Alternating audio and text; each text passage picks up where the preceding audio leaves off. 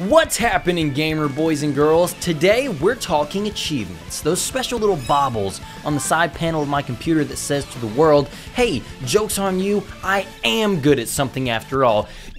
Yes, suck it, Dad! I don't mean to brag, but I have every single achievement for both YouTube and Netflix. That's a pretty exclusive club I'm a part of, don't you think? I like achievements so much, I even baked one into this video. So yeah, congrats on that sick achievement, bro and or sis. Anyway, I gotta go. Every second I spend here is a second I could be grinding those achievements in other video browsing apps. So without further ado,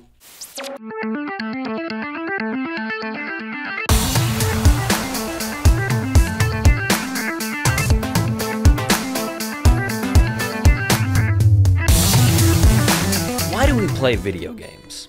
Some might say to relieve stress, to escape to another world, participate in a power fantasy, and some might even say it's to accomplish something. Depending on your answer, you might have a negative or positive opinion on achievements. One surprising argument I've seen a lot of from my friends is that they're intrusive, becoming frustrated with them constantly breaking into the screen to tell you something pointless. It breaks the immersion to have a pop up tell you that you passed the tutorial. That is an interesting criticism, but I also think it's a specific one. Are achievements really that big of a nuisance? I actually found the idea so confounding that I wanted to make a little mini video on it. So let's talk. Now, personally, my stance has never been negative on achievements. They've never gotten on my nerves. Do I think it's a little pointless when I see an achievement pop up when I got to the end of a mission in Call of Duty? Absolutely. I feel like they should be, well, achievements, difficult to accomplish feats. When that fanfare and message pops up, it should feel more like a celebration. Oh, nice! You found that incredibly hard to find secret ending. Here's a cool little acknowledgement for doing such a good job. Getting out of the tutorial mission isn't worth a celebration. It feels like overkill, does it not? Sometimes it does to me. I mean, I get it. Not every achievement needs to be jumping ropes 1,000 times in a row like in Final Fantasy IX. Come on, Vivi! Effort wins the game, baby! But I mean, it also gets kinda silly when you look at a list of achievements for a game and it's nothing but past mission 1, 2, 3, 5, 9, 14, etc. But what if an achievement list could help guide the player? I've given a taste of my criticism of open world games recently with my look at Ghost of Tsushima. I even branded some of them as checklist games. But if I had to make a guess, the completionist is the kind of player who gravitates towards the open world game. For them, that achievement list might just be another map, so to speak. But instead of guiding the player where to go, it's telling them what all they can do. Achievements have the potential to act as guides in open world settings. I 100% in Spider-Man PS4 because that game had such a clear list of objectives and I had the information I needed to see how much further I was away from completing the objective. Same thing with any open world game. Let's say you have only a few more hideouts to take care of, you're telling me you don't feel compelled to go ahead and just get those last few to complete the challenge? Maybe not for the sake of the gamer score or PlayStation points or whatever, but as a badge of accomplishment. Okay, now instead of a game where there are several optional objectives carved out and pre-made for you, what about a more linear game? Well, achievements seem like they would be more well suited for optional content in a situation like this. How about when I was playing Bright Memory and I wouldn't have known to go back through the game for a second or third time for additional cutscenes if the Steam achievement list hadn't told me it was a thing? Or how about this gnome achievement for Half-Life 2 Episode 2? You have to take this gnome from the beginning to the end without losing it. And they even brought it back for Alyx.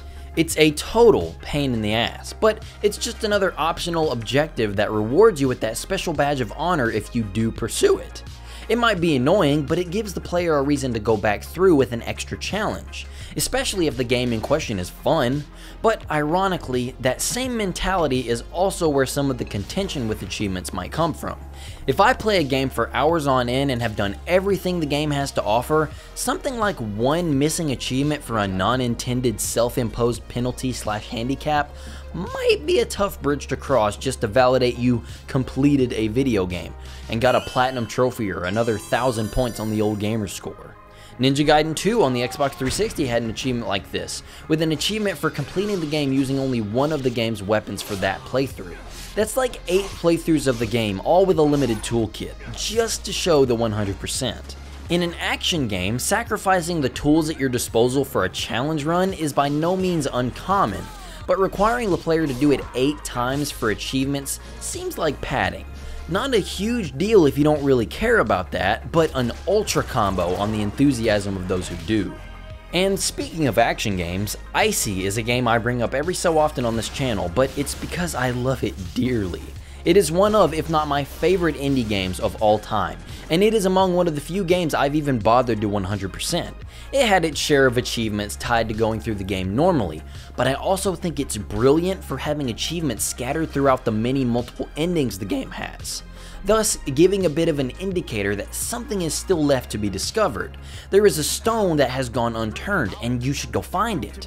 I get close to completion all the time just because I love to play the games, and it's okay that I haven't gotten them all. There were just fun little extra bits of stuff to do in these games.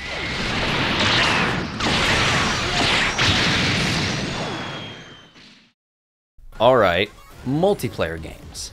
I don't really think achievements are the most fair thing to include in a multiplayer setting, and shooters in specific. They require hundreds of hours and hundreds of kills or objective claims to reap the benefits of that coveted 100%.